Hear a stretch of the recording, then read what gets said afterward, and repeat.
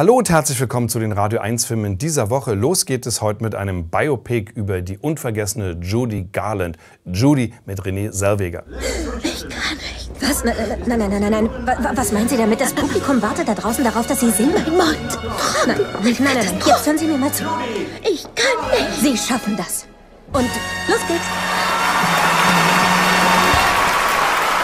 Judy Garland war schon als Kind ein Superstar. Durch den Zauberer von Oz wurde sie endgültig zum Mythos. In diesem Film lernen wir sie kennen, am Ende ihres Lebens ausgebrannt, tablettensüchtig und überhäuft mit Schulden. Sie versucht, diesen Schuldenberg abzuarbeiten, indem sie in London mehrere Konzerte gibt und es spricht sich schnell herum, dass das sehr besondere Auftritte sind. Es kann ganz ergreifend werden oder auch total chaotisch. Der Film schneidet immer wieder zurück in ihre schwierige Kindheit. Da sehen wir, wie sie mit Tabletten abgefüllt wurde, welcher Druck ausgeübt wurde auf sie und wir begreifen natürlich sehr schnell, dass das, was sie damals als Kind erlebte, eine Auswirkung hat auf die Erwachsene. Das ist ziemlich konventionell und vorhersehbar, es ist auch so inszeniert.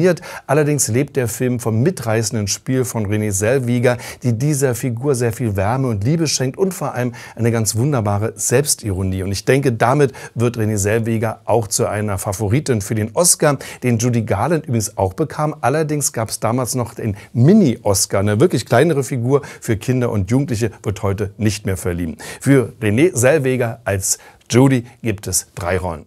We didn't just want to play with Miles Davis. We wanted to be Miles Davis.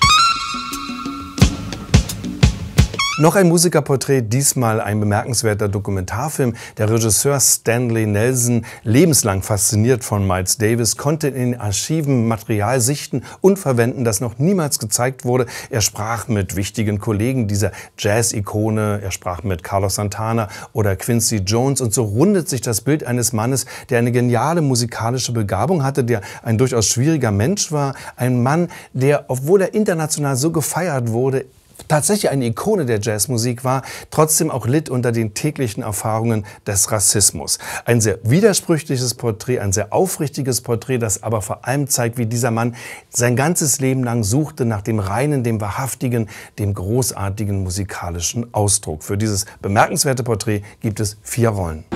C'était votre faute si nous avons perdu la bataille. Vous ne savez pas parler aux soldats. Les soldats, ils veulent se battre. De la guerre, de la victoire, du sang surtout.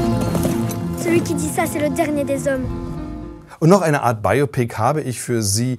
Diesmal ist es das Leben der Jeanne d'Arc. Der erste Teil dieser neuen Verfilmung ihres Lebens von Bruno Dumont läuft ja bereits im Kino. Jetzt kommt der zweite Film. Also nach der Kindheit jetzt die Jugend. Nach wie vor ist es eine sehr, sehr junge Jeanne d'Arc, die wir da sehen. Ganz anders als in all den anderen Verfilmungen, die wir so kennen, die ja meistens junge Frauen zeigen. Hier ist es ein Kind, das ganz fest glaubt an seine Überzeugungen, an seine große Mission für die Nation, basiert auf einem Theaterstück aus aus dem Jahre 1910. Und diese Herkunft vom Theater ist in dem Film immer spürbar. Das sind ganz bewusste theatralische Inszenierungen.